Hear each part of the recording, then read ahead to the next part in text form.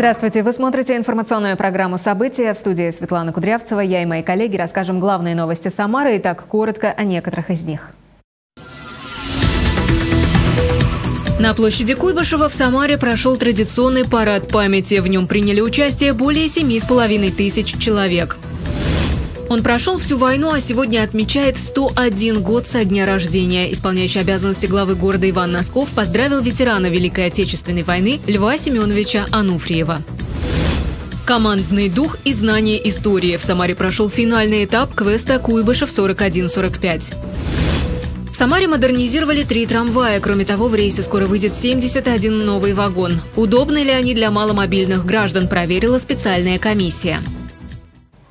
7 ноября сегодня в Самаре состоялось долгожданное событие. Прошел парад памяти. Перед этим полпред Игорь Комаров, губернатор Вячеслав Федорищев, исполняющий обязанности главы города Иван Носков, депутат Госдумы Александр Хинштейн и другие почетные гости возложили цветы к монументу памяти парада 7 ноября 1941 года в Куйбышеве.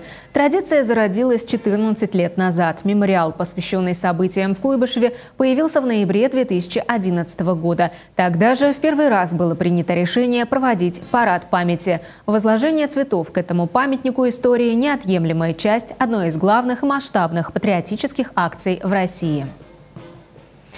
Парад памяти в этом году прошел под девизом «Наша семья – наша победа». По площади Куйбышева единым маршем прошли 125 расчетов. Более 7,5 тысяч человек. Сотрудники силовых структур, юноармейцы, кадеты, воспитанники патриотических клубов. За ними с трибун наблюдали герои прошлого и настоящего. Свидетелями парада стала и наша съемочная группа традиции парад памяти открывают расчеты в форме времен Великой Отечественной войны. Именно в такой одежде 83 года назад здесь стояли части Красной Армии. 65-я и 239-я стрелковые дивизии, моряки и краснознаменные Амурской флотилии, а летчики готовились к авиационному показу. Тогда, в ноябре 1941 по площади маршировали и сразу уходили на фронт более 25 тысяч бойцов. С этой площади в далеком 1941 году Наши деды и прадеды уходили на фронт защищать Родину. Многие из них прошли долгий путь, освободив от захватчиков родную землю и порабощенные страны Европы. Многие погибли в боях, не дожив до Великой Победы. Их отвага, верность долгу и Родине – пример для нас служения Отечеству. И, безусловно, образец для подражания и патриотического воспитания молодежи. Вслед за пешим расчетом проехала восстановленная техника – мотоциклы, машины ГАЗ, бронеавтомобили и танки. Их предоставили частные коллекционеры, музеи, военно-патриотические и исторические клубы. А сразу после исторической части на площадь вышли солдаты, сотрудники внутренних служб и кадеты, юнармейцы, члены военно-патриотических клубов. Всего 125 расчетов, более 7,5 тысяч человек. В Самару приехали представители всех регионов России. Некоторые приехали на парад впервые. Мы едины в своем стремлении сохранить священную память о героизме, мужестве и патриотизме тех, кто сокрушил фашизм прошлого, и едины в стремлении поддержать тех, кто вновь вынужден бороться с фашизмом уже в 21 веке. Парад памяти дает возможность каждому из нас почувствовать сопричастность подвигу старшего поколения, испытать подлинную гордость за наш народ, за нашу великую страну. Центральной темой парада памяти в этом году стал год семьи. «Наша семья – наша победа». Под таким девизом проходили все мероприятия международной патриотической акции. Парад памяти – это пример преемственности поколений, защитников нашей Родины. Он проникнут духом мужества и несгибаемой воли защитников Отечества. И наш долг – сохранить память. Среди гостей парада участники СВО и их семьи, а также ветераны Великой Отечественной войны и ветераны труда, которые тогда ковали победу в тылу. Вероника Сидоршина в этом году отметила столетний юбилей и мечтала посетить парад. Воспоминания о Дне Победы до сих пор греют ее душу. Мы были на заводе, и вдруг объявляют конец войны. Все выскочили с завода и бежали Куда бежали, никто не знал. Завоз так был на, на горке. С горки бежали, все плачут, все плачут. Бросаются друг к другу, незнакомые и целуют друг друга. Ветерана поздравили полпред Игорь Комаров, губернатор Вячеслав Федорищев, депутат Госдумы Александр Хинштейн, а также исполняющий обязанности главы Самары Иван Носков. Он пожелал здоровья Веронике Серафимовне и отметил, что парад памяти – это одна из важнейших традиций в городе. Важно приучать любить свой гимн, знать его. Важно э, понять, что такое а, знамя, его ценность понимать, что такое дисциплина. Это же мы видим только финальную часть, а сколько э, было времени подготовки, а сколько было времени тренировок, и не только на площади. И они нам сегодня показали результат, и они им гордятся своим результатом. Это важно. Завершился парад памяти, как и в 1941 году, демонстрацией трудящихся. В колонне по площади прошли представители самых крупных промышленных предприятий Самарской области. Также на площади развернули несколько патриотических площадок. Гости праздника могли посетить музейные экспозиции, поближе рассмотреть трофейную технику стран НАТО и технику времен Великой Отечественной войны, а также попробовать полевую кухню. Андрей Горгуленко, Константин Головин, Валерий Майоров. События. София Клименко – студентка Самарского государственного медицинского университета. Она впервые приняла участие в параде памяти. Очень впечатлена, потому что очень масштабно, а, столько представителей и также техники военной. А, очень-очень возникает чувство патриотизма. Мне очень понравилось в целом. Александр Боровский и Владислав Коваленко приехали из города Энгельс, чтобы принять участие в параде памяти. Мы участвуем не первый раз, э, стараемся поддерживать коллег. Это очень важно всегда в плане воспитания молодежи, чтобы помнили, чтобы не забывали. Эмоции, позитивы. Тоже участвуем не первый раз. Катаемся, показываем патриотизм и боремся как можем. Среди участников парада оказалась Анна Гуляева. Девушка-кадет с гордостью рассказывает, не первый год марширует на главной площади города. Я участвую уже не первый раз и очень довольна данным мероприятием.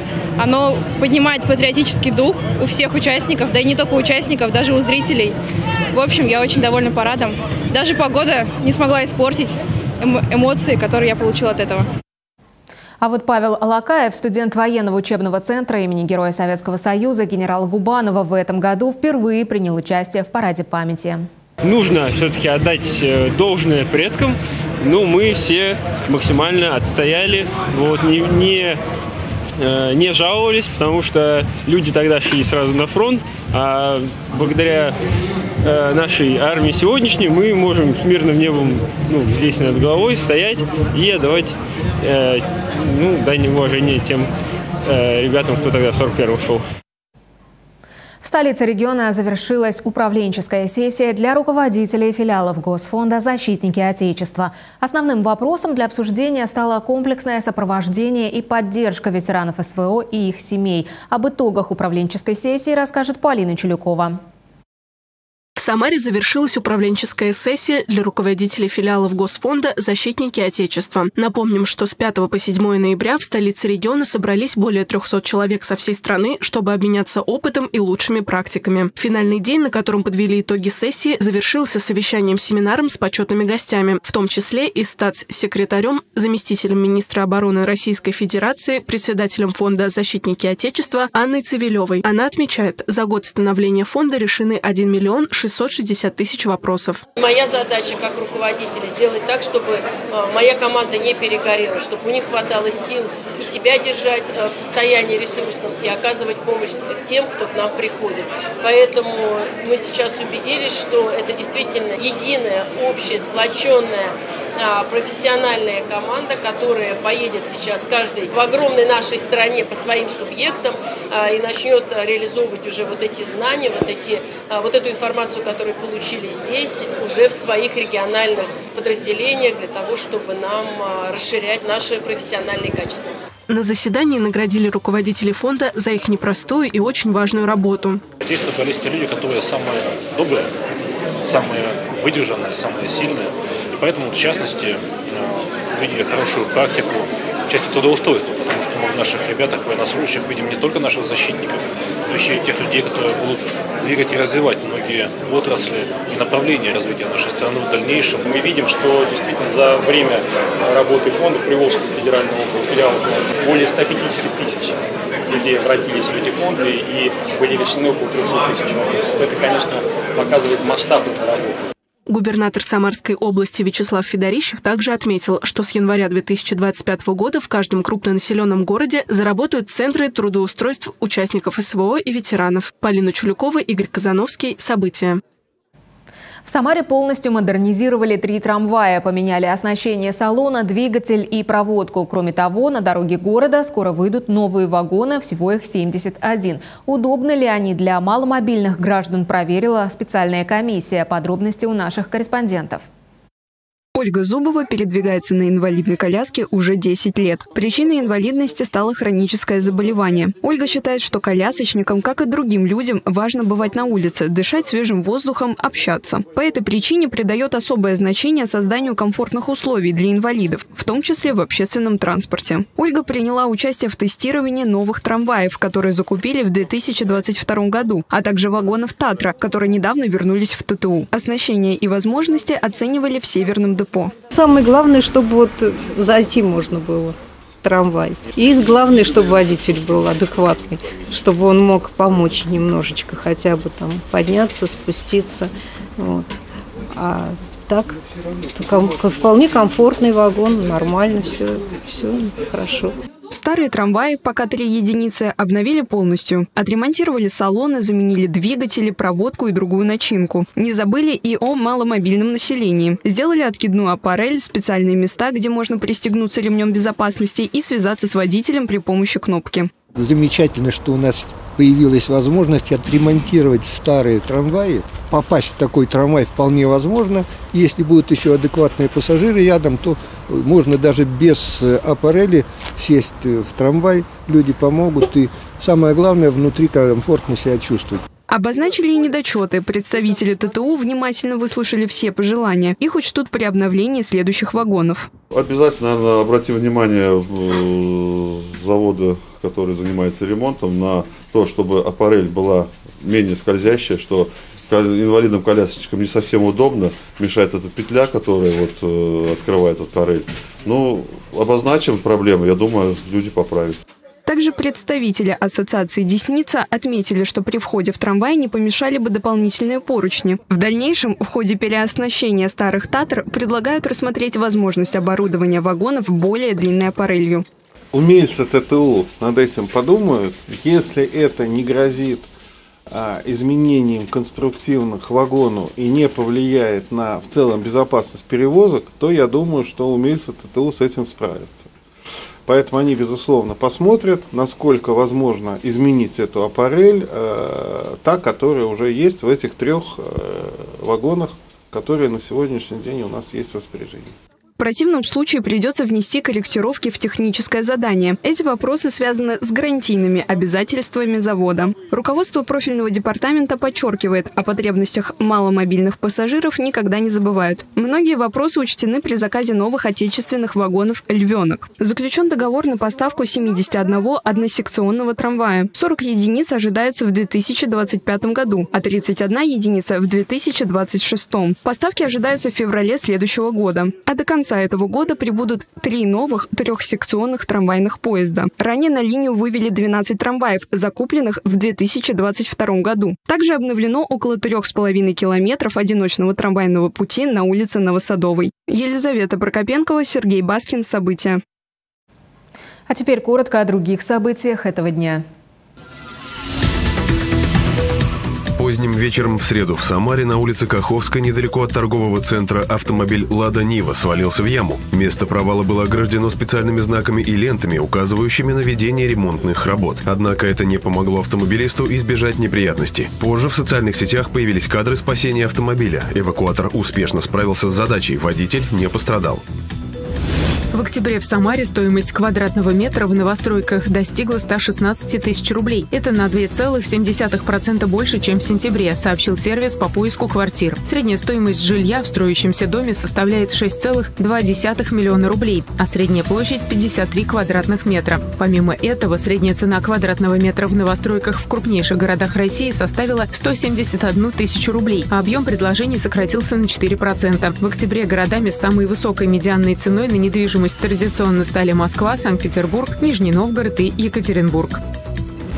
В соседнем от Самарской области регионе в Татарстане обнаружили вирус Коксаки. Симптомы разнообразные. От отсутствия каких-либо признаков до лихорадки, головных и мышечных болей, тошноты и боли в животе и в горле. Пациенты с подозрением на заражение этим вирусом также есть в Москве и Московской области, Санкт-Петербурге, Краснодарском крае, Владимирской, Брянской, Калужской и Ижевской области. Роспотребнадзор напоминает о необходимости мыть руки после посещения общественных мест, пить только бутилированную воду, мыть фрукты и овощи. При ухудшении самочувствия необходимо обратиться за медицинской помощью. Консультацию также можно получить по бесплатному номеру 8 800 555 49 43. Участников СВО освободят от уплаты исполнительского сбора. Соответствующий законопроект приняли в Госдуме в первом чтении. Теперь на законодательном уровне установили мораторий на судебное рассмотрение дела о взыскании долгов с участников спецопераций. Однако ранее эта мера не распространялась на исполнительский сбор, который возникает при несвоевременном погашении задолженности. Его размер составляет 7% от суммы долга или стоимости взыскиваемого имущества. Изменения в законодательстве устранят этот пробел. Полузащитника крыльев Советов Игоря Дмитриева вызвали в молодежную сборную России Ю-21. Об этом сообщили в пресс-службе Самарского клуба. В ноябре футболист будет готовиться к играм вместе с командой в Бразилии. 14 ноября состоится матч со сборной Флуминенце Ю-21, 16 ноября с Ботафога Ю-23, а 18 ноября с основным составом Сан-Кристована. Подготовка пройдет в Новогорске с 9 по 11 ноября, после чего команда отправится в Рио-де-Жанейро. 7 ноября свой 101 день рождения отметил Лев Семенович Ануфриев. С достижением такого почтенного возраста ветерана войны и отличника здравоохранения поздравил исполняющий обязанности главы города Иван Носков. Подробности в нашем сюжете. Лев Семенович Ануфриев сегодня почти не выпускает телефон из рук. Повод солидный. Мужчина отмечает 101 день рождения и принимает поздравления. Признается, несмотря на то, что живет уже больше века, самочувствие отличное. Знаете, как новорожденный вот, младенец себя чувствует, вот. Но я, э, ну, получше немного, да. В годы Великой Отечественной войны Лев Семенович был командиром пулеметной роты, а День Победы встретил на территории современной Калининградской области. Затем завершил медицинскую академию и работал патологоанатомом. А в 1971 году приехал в Куйбышев, став одним из самых квалифицированных и опытных в своей профессии. Работать закончил в 2007 году, но до сих пор поддерживает связь с коллегами из онкодиспансера. Товарищами, ну, друзьями в онкоцентре э, до сих пор я не, связь не прекращаю, потому что они ко мне очень хорошо относятся, я к ним хорошо отношусь. Там, да, там мои ученики остались, да, вот, возглавляют это э, патологоанатомическое отделение. Пришел поздравить почетного ветерана и исполняющий обязанности главы города Иван Носков. Лев Семенович, несмотря на перенесенный перелом ноги этой весной, гостей все равно встречает стоя. От всей души вас поздравляю с днем рождения. Да от лица губернатора, от жителей Самары, а, ну, тебя тоже лично. Спасибо. Иван Носков вручил подарок Льву Семеновичу, пообщался с ним и пожелал здоровья, благополучия, а также встретить следующую юбилейную дату – 105 лет. Андрей Горгуленко, Константин Головин. События. В школе номер три прошел урок мужества для 11-классников. Его провел участник специальной военной операции Олег Бородин. Наша съемочная группа побывала на этом уроке. Житель Самары Олег Бородин работал учителем ОБЖ в школе номер три. Когда началась специальная военная операция, принял решение пойти за ленточку, чтобы защитить родину. Уже в мае 2023 года подписал контракт и отправился в Луганскую область, где пробыл до марта 2024 года. Рассказывает, ушел на СВО, чтобы отдать долг родине, поскольку уверен, что именно так и должен поступать настоящий мужчина. Я и учил этому детей – и доносил это до них. И, может быть, своим примером, вот этим поколением я э, мог бы показать то, что в любом возрасте, даже за 50 лет, э, можно подняться, пойти оказать какую-то посильную помощь, вот, и тем самым все-таки сохранить то государство, которое есть. Участник специальной военной операции Олег Бородин провел урок мужества для одиннадцатиклассников, на котором рассказал о своем опыте военной службы и о том, как важно защищать Родину. У меня самой мама участник Великой Отечественной войны. И Я тоже помню, когда она приходила в школу и приглашали, когда я училась, какие эмоции у детей были, и внимательно слушали всегда, задавали интересные вопросы. И ну, вот люди такого плана, они являются примером для всех. В школе номер три регулярно проходят открытые уроки с участниками специальной военной операции в рамках всероссийского проекта «Классные встречи». Августина Охременко, Сергей Баскин. События. Командный дух и знание истории в Самаре прошел финальный этап квеста «Куйбышев 41-45». Девять лучших команд соревновали за звание победителя. Как прошла интерактивная игра, расскажет Елизавета Прокопенкова. Всего 15 секунд остается для того, чтобы дать ответ. Табличку. Да, да, табличку подняли. Федор Козлов учится в девятом классе. Недавно вступил в ряды юнармейцев. Рассказывает, что в движении больше всего нравится военная подготовка, возможность научиться собирать и разбирать автоматы, а также участвовать в разных конкурсах и викторинах. В этот раз Федор вместе со школьными друзьями отвечал на вопросы квеста «Куйбышев 41-45». Ребята представили команду Октябрьского района. Было такое предложение сходить на район, но мы думаем, ну попробовать, что нам стоит. Заняли первое место. Не ожидали, конечно, приятно. Вот сегодня на городе.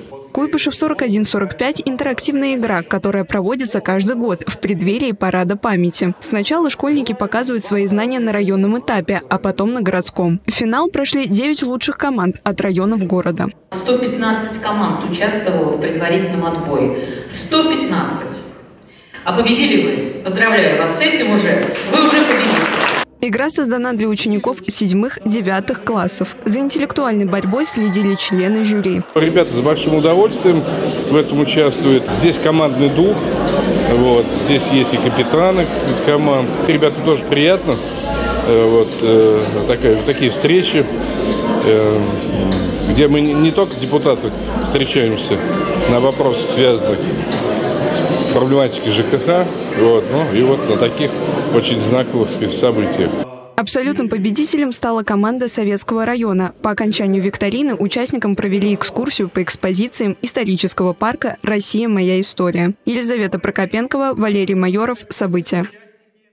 На Землю передали самые четкие фотографии Юпитера. В октябре космический аппарат Юнона завершил свой последний 66-й облет планеты, после чего отправил финальную серию фотографий. Снимки были сделаны на двухмегапиксельную камеру. На одном из них запечатлены хаотические облака и циклонические штормы при полярных широтах Юпитера. Также аппарат приблизился к пятому по величине спутнику Юпитера, Амальтеи, диаметр которой составляет 83 километра. Юнона была запущена в 2011 году году на орбиту планеты она вышла в 2016 преодолев более 2,5 миллиардов километров. Далее вас ждет обзор телеграм-каналов городской администрации и профильных ведомств. Вот о чем они сегодня писали на своих информационных площадках. Полномочный представитель президента Российской Федерации в ПФО Игорь Комаров вручил медаль «Золотая звезда» родственникам Андрея Колпакова, которому посмертно присвоено звание Героя Российской Федерации. Об этом сообщает телеграм-канал администрации Самары «Вести с Дворянской». Андрей Колпаков ценой собственной жизни спас товарищей, укрыв их собой и защитив от ракетного удара. На церемонии была вся семья военнослужащего – мать, отец, супруга, трое детей. Губернатор Самарской области Вячеслав Федорищев выразил семье слова благодарности. Всего всего с 1992 года в Приволжском федеральном округе почти 300 человек были удостоены звания Героя Российской Федерации. С наступлением холодов на дорогах и пешеходных дорожках может появиться ледяная корка, которая представляет опасность, информирует телеграм-канал Ленинского района. Чтобы избежать падений и травм, необходимо соблюдать осторожность и принимать меры безопасности. МЧС России рекомендует передвигаться осторожно, наступая на всю подошву. Выходить из дома заблаговременно, не торопиться, не занимать руки тяжелыми сумками сумками и не держать их в карманах, а водителям соблюдать скоростной режим. 23 и 24 ноября в выставочном центре «Экспо Волга» состоится выставка животных «Друг человека», сообщает администрация железнодорожного района. В рамках фестиваля проведут конкурсы и соревнования на спортивной площадке, квиз, детективный квест, соревнования по кинологическому спорту и другие активности. Будет работать большая детская площадка и маркет. Желающие смогут забрать понравившегося котика или собаку домой. На этом наш выпуск завершен. Будьте здоровы, всего вам самого доброго и до встречи.